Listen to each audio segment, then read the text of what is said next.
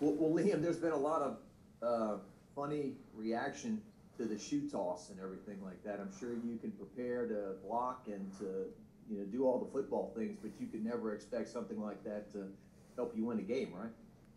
Yeah, absolutely. That was that was pretty crazy. I mean, I I saw it happen, and I, I just saw him throw something, and I wasn't really, really even sure what it was at first. Um, I was like, wow, like that that could give us a first down. Like that could kind of give us a chance to win the game here, like a second chance after we didn't get it. So definitely not a conventional um, way to, to move the chains, but I, I will take it. So. And a quick follow-up, what was your perspective of the field goal? Could you see the goalpost? Could you see the ball go through? I mean, I could see it. Um, it was a little little foggy. Uh, obviously, it was a little foggy, but um, from my from my angle, I wasn't sure if it had leg or not. Um, and then obviously, it clearly did. Um, it would have been good from could have been good from like 65, but um, yeah, it was exciting. Definitely, definitely very exciting. So. Liam, I feel like every week you have to sit there and answer these questions from us about like the culture and the locker room and stuff like that. So I guess what have you seen over the past week that kind of led to the response you saw from the team Saturday? Yeah, um, you know, it's what I've been saying throughout the season. Um, you know, we've obviously had some low points. Um, there, there's been a lot of times where, where it, could be tough to, to kind of get motivation to keep going. Um, you know, but, but like I said throughout the year, we had the guys on this team like we're we're going to keep working no matter how hard it gets, um, you know, and, and, no matter how, how tough the circumstances seemed around us. And I'm, you know, I'm really happy that it was able to kind of pay off, and we were able to get um, get a big win on the road against a top ten team. So. And Liam, uh, on that too, Jabril Cox kind of said last week, if y'all were eight and zero, a lot of things would be different. How much did the win help? Yeah, um, you know, it, it really helps morale. Uh, you know, like I said, we, even though we didn't have the best record, we were still coming in here um, every week uh, and really working as hard as we could. Uh, you know, and when you're not getting the results um, with wins on Saturday, it, it becomes pretty draining. Um, so to kind of get that that sour taste out of our mouth and get like a, a, a big win, um, it, it really boosts morale on the team and, and uh, and just going forward. And hopefully, we'll be able to keep the ball rolling this Saturday, um, you know, and build some momentum going into the off season. So. And then obviously, you know, there were some injuries, and Cam Wire kind of slid around, you know, Saturday. What did you see from him kind of moving in a guard, and had he practiced much there? Um, yeah, that was awesome. You know, he he hadn't practiced too much there. Uh, we knew that um, that he, he might be the guy to go in at guard um, if something like that did happen, where where Chasen went down. Um, you know, and that's a credit to him. He's, you know, he's been kind of the sixth man on the offensive line the whole year, and and he's done a great job. Um, you know, always staying ready to play guard, tackle, wherever we need him to be. Um, yeah, so, so that's a credit to him to, to be able to be versatile like that and, and step up um, on the road in a big close game like that. Um, you know, when he might not have been expecting to, to play like he did. And Liam, this week early signing period, a lot of recruits making their decisions. You were once a recruit, um, kind of stuck near home the first time and made your long journey as a transfer.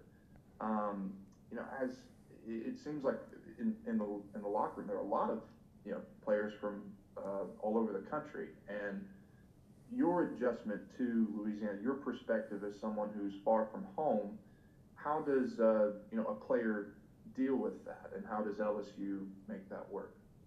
Yeah, um, for me coming down here, uh, I've been able to adjust really through football, uh, you know, and, and, trying to lean on like the guys and the coaching staff here at football to to get me kind of acclimated to living down here in Baton Rouge in the South, obviously very far away from home up in Boston.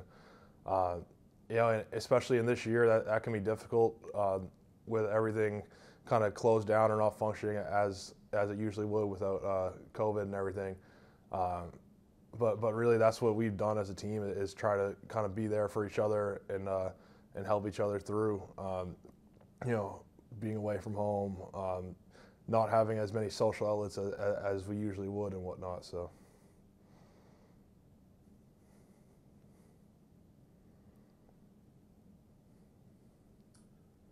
Hey Liam, uh, last week the offense was responsible for scoring 31 of the 37 points and uh, Ole Miss comes in with a pretty big reputation for putting up a lot of points. Uh, can you talk about the mindset offensively? To, if you're going to get in a, in a, shootout, you've got to do your part and try to, um, you know, execute and uh, you know maybe you know control the clock somewhat with your running game as well.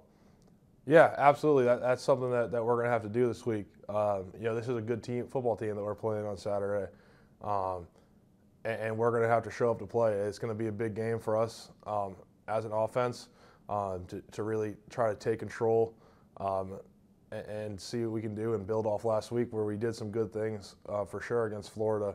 Um, definitely could, always can improve though. You know, after watching the film, there's more, more stuff that we could have done uh, better. Just you know, change a couple things here and there, and who knows what else could have happened for us. So, just just like every week, we just got to keep building and, and, try to take the next step as an offense uh, this Saturday. So. Hey Liam, uh, you mentioned momentum a couple you know minutes ago, and just kind of building on that and heading into the 2021 season and off season and whatnot. I mean, just what does that look like for you guys over these last two weeks? I mean, just as an offense, what are some goals that you guys are trying to accomplish, and just kind of how can you build that momentum over these final two games? Yeah, you know, through, throughout the whole season, really what we've been trying to do is just maximize our potential. Um, yeah, I, I, really believe that we have a lot of talent on this football team and, and, on this offense specifically. And there, there's definitely been a lot of times throughout the year where um, some things didn't go as we would have hoped, um, and, and, we weren't able to make plays where, where we wanted to make plays. But uh, I think it's huge for this team and, and this program to to finish um, like we did last last weekend and go into this weekend and, and finish this season strong and really um, have some good momentum going into this off season, um, um, getting getting preparation for next year. So,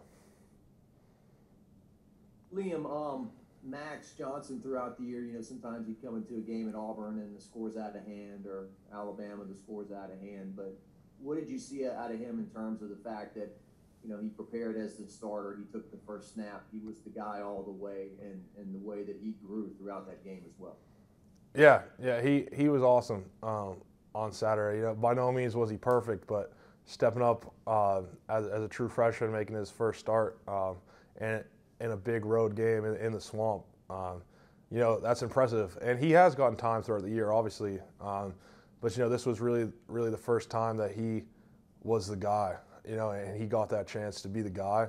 Um, and I'm, I'm, happy for him that he got to have that opportunity, uh, you know, and he really took it and ran with it. So, um, you know, I'm not surprised that he was able to do that, though, just by the way that he prepares week in and week out, um, and just his work ethic.